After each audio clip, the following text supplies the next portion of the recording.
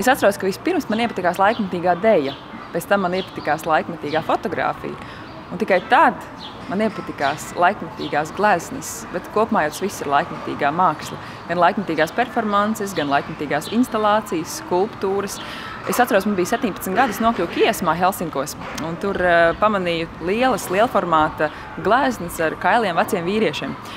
Un šī ārprāts kas tagad tas tāds, kas tā par mākslu, un, un tur tādi saživuši viņi un visi viņi dzimuma orgāni un viss tas man likās ārprāts.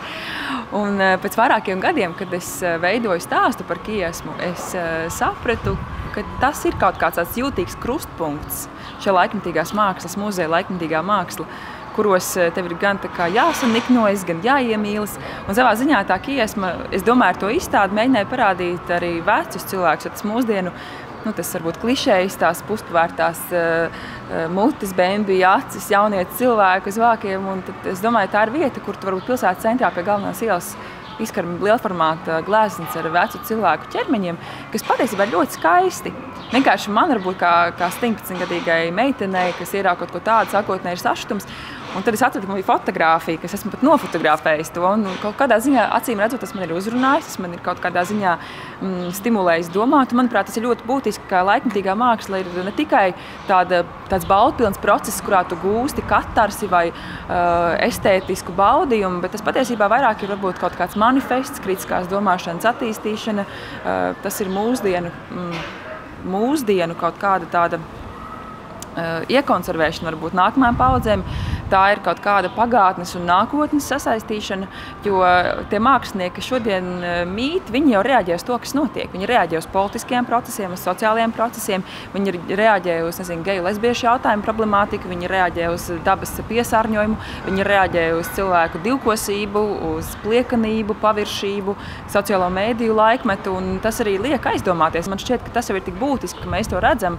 un nevis tikai aizbraucot uz Momu vai uz Bilbao vai uz Kiesmu, bet ka mēs to redzam tieši Rīgā, jo mēs jau gribam arī paši sevi saprast. Veidojot, piemēram, ikdienā tos kultūras sižetus, var redzēt pārsteidzoši kvalitatīvus darbus. Es domāju, ka, piemēram, arī Eglīša un Neiburgas darbi Venecijā tika novērtēti, bet tāpēc, ka viņiem tika iedota telpa. Ir ļoti svarīgi, ka mēs varam uzaicināt vai nu pilsētas viesus, paskatīties eh, vai arī pašiem mums aiziet paskatīties, kādi mēs latvieši esam, kas tajā brīdī notiek, jo viņi jau mākslinieki reaģēt spēju, spējīgi.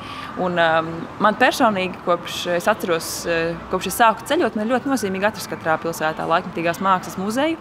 Uh, es parasti dodos uz tirgu, ja tāds ir, uz laikmatīgās mākslas muzeju un uz centrālo staciju. Man ļoti patika Bilbao muzejs. Protams, Guggenheim Bilbao muzejs ir veiksmes stāsts, kas atdzīvināja 130 uh, miljonu eiro. Viņa ieguldīja pilsēta šajā muzejā. Viņš atdzīvināja pilsētu pilsētu, viņš atdzīvināja uh, vietējo ekonomiku, bet uh, kas man ļoti patika, bija tas, ka tur varēja doties bezdarbnieki.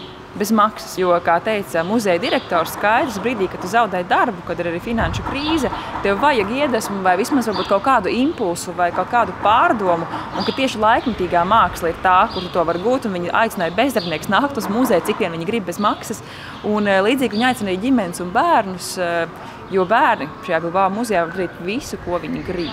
Man ļoti patika mm, doma, ko reiz eh, teica viens mammas kurators, aplūkojot arī latviešu mākslas darbus un tiekoties mākslas akadēmijas studentiem.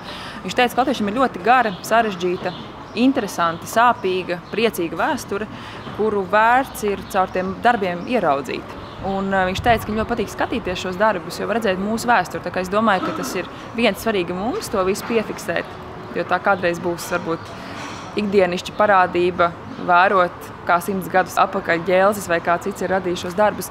Un pašā laikā es domāju, ka iebraucējiem pilsētā, vai tas ir kāds mākslas kurators vai vienkārši turists, kurš ir atbraucis uz garu nedēļas nogalu uz Rīgu, pa, vērts palūkoties, kādi mēs esam. Man šķiet ļoti svarīgi, ka laikmatīgā māksla un muzejs ir pieejams Rīgas viesiem, arī tiem, kuriem ir īpašas vajadzības, piemēram, nezinu, kustību traucējumi, nu, ka viņš neatrodas, piemēram, kā laikmatīgais muzejs Skopjē kalnā, un kur ir grūti nokļūt. Un man šķiet, ka tas uh, muzejs varētu atrasties Rīgas centrā, lai viņš būtu pieejams uh, ikvienam, lai viņš būtu pa ceļam turistiem, viņu turistu takās, uh, lai viņš ir tā kā biržas nams varbūt atvērts ar atvērtām durvīm, lai gribās tur ieiet iekšā. Es domāju, ka krāslaukums ir laba vieta. Vienalga, kur tas centrā būtu, lai tas ir centrā, lai tas notiek tā kā tas, tas viss tā, laikmatīgie notikumi būtu. Rīgas sirdī, lai tas mūsu centrs dzīvo. Tas nav tā kā liels lielveikals, kas ir kaut kur otru pusi upes, un tad visi iebrauc un iepērkās, tur speciāli brauc. Bet tas ir kaut kas tāds, kas ir mūsu ikdienas sastāvdaļa, ka mēs tajā dzīvojam. Mākslas darbi ir sabiedrības spogulis, gan vēstures spogulis, gan tagadnes spogulis, varbūt gan nākotnes spogulis. Šie laikmatīgie mākslinieki sasaista pagātni ar tagadni, tagadni ir nākotni. Tā ir tāda klātsoša esamība. Šī māksla tas nav kaut kas atrauc un kaut kas tāds, kam būtu jāizklādē noteikti. Es domāju, ka tā māksla, ko mēs ko rada tagadējie mākslinieki, tie esam mēs atspūgs.